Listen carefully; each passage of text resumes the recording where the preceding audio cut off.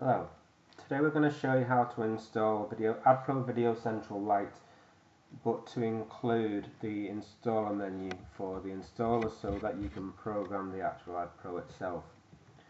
Once you've acquired the software from the AdPro website and unzip the file, navigate to the setup option and that will start an install wizard.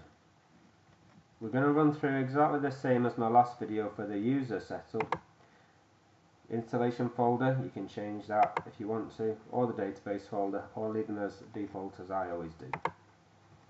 The only option from the users and the installers is that the users you leave that as no so they don't get the installer menu. But we're doing the video for the installers so we're going to click on yes. Click on next. Confirm your network devices and just a quick run through of all the stuff that you've just looked in the install wizard from that it'll quickly run through the installation of the program. That's come up for me because it's on Windows 8.1. The program that I've just installed is for Windows 7 but it does actually work perfectly fine although AdPro won't support it on 8.1.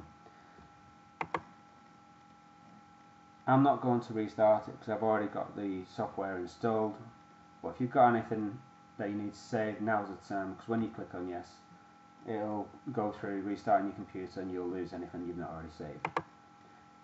On your desktop you will now have an icon that looks like that for the AdPro software. Double click it and that will start the program. There'll be a couple of pop-up messages that come up. You just agree on them and I'll just minimize the screen so you can see it. What will happen now is that as in our previous videos you'll be able to go into database create a site and then once you've done that copy the details that you've already put into the AdPro if we connect to site just to verify that you've accepted the installer version by clicking on the yes box once you've actually connected to your AdPro all these options here should be in black. So you can actually get to the installer menu to allow you to download the configuration from the AdPro unit itself. If you find that you've only got a few of these, then you haven't checked the yes box. And uh, you'll have to go through the install again to change the option from no to yes.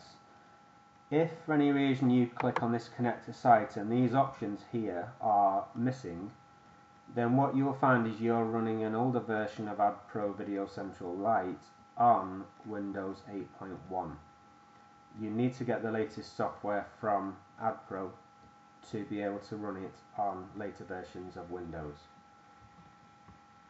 Hope that was useful to you. Thanks.